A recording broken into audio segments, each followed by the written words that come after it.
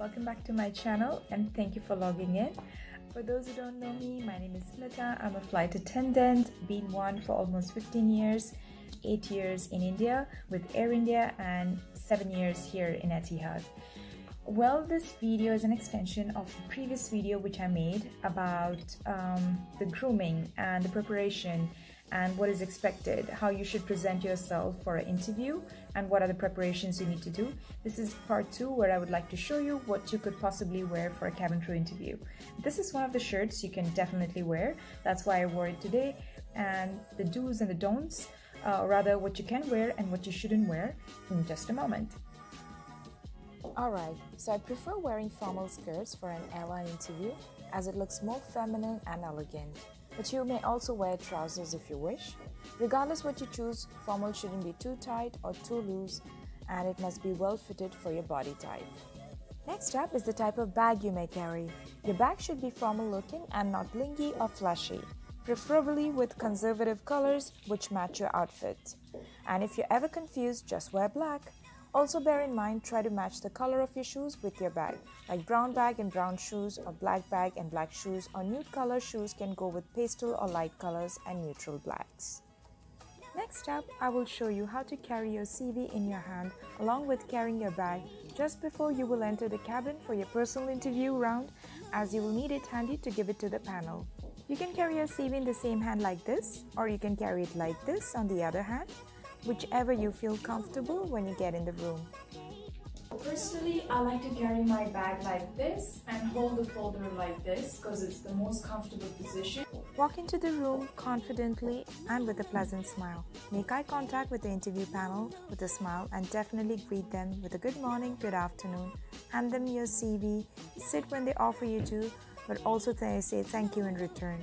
Place your bag next to you on the floor Sit on the seat with your back upright and your hands in front of you on your knees like this.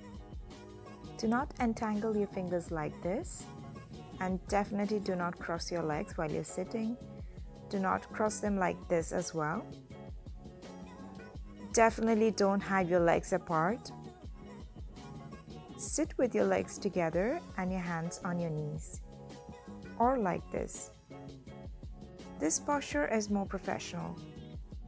Right from the time you step into the interview venue till the time you exit the interview venue, you must keep in mind to have this pleasant and warm smile on your face as they start observing you from the time you step into the venue. At the same time, bear in mind to not laugh loud, talk loud, or smile when it's not necessary. Also, match your smile with a friendly and kind look in your eyes. So, about the outfits, you could wear a shirt like this with a skirt like this, all black, just make sure it's not very snug and tight and it's comfortable and you can breathe in. And the skirt is also fitted but it shouldn't be very very tight. Uh, you can tell those signs from here. If it's just too tight like this it's not appropriate. You might even rip it off when you're sitting down getting up getting up the stairs. So always try to be comfortable. At the same time choose the right clothes which fits you right and always make sure that it's crease free even though, like I said, I'm not a big fan of wearing all black, but if you have to wear black because it's your favorite color, and if you want to wear a jacket, um, you can wear something lighter inside, and you still have this nice long v-neck, and you have a nice tailor-made jacket for yourself, which shows that it's still formal and fitted and looks good on you and very professional. You could wear a blouse like this.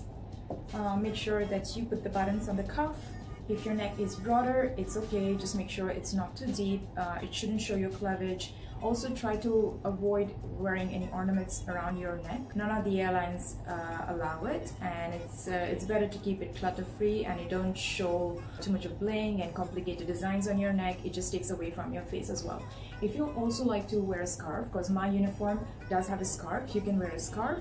But if you have a shorter neck and if you have a fuller face, it's best to avoid wearing scarves because it just makes you look more chubbier but that's again your preference and the kind of style you're choosing.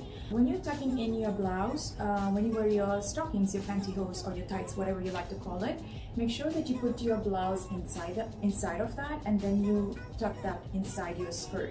So it gives you a more secure outfit because if you try to bend, put your back down on the floor, if you try to sit down or when you get up again, it's just gonna everything is gonna pop out. So I would also say wear a high waist skirt. It's much better if you wear a high waist skirt. It secures the blouse inside perfectly fine. Or you could wear something like this. It's a beautiful white shirt and a nice scarf or bow.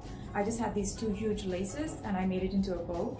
You can also wear a scarf with something uh, of a high neck like this because it looks more appropriate and you can also see why it is important to wear the right color undergarments because it might show through your outfit and it's just appropriate to wear right color undergarments and also a spaghetti or a tank top as you would call it inside. It's called a camisole or whatever you like to call it. It's just a thin strap and a white color or a beige color depending on your skin type and the outfit you're wearing.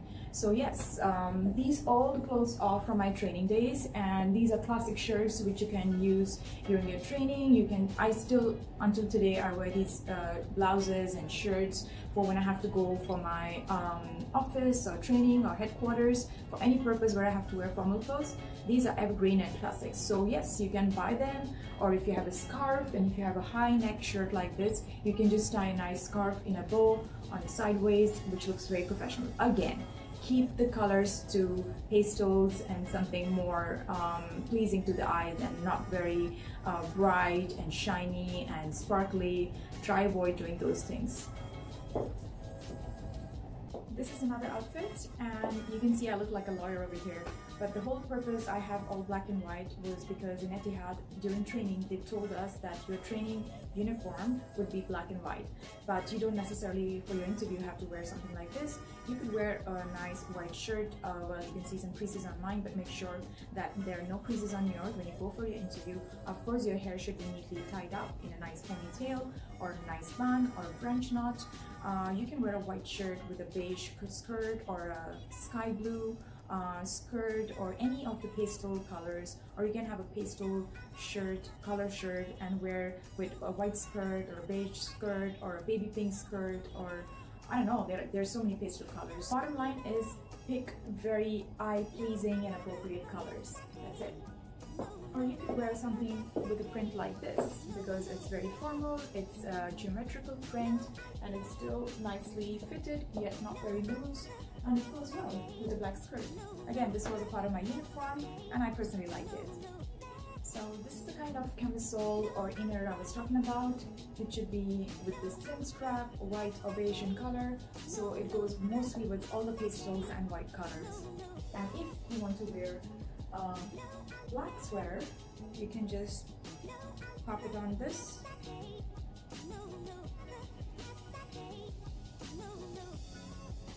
just like that. You can even tuck it inside or leave it outside.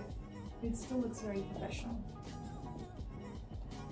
And last but not the least, a classic white shirt on your black skirt or even a beige or whatever skirt you want to wear.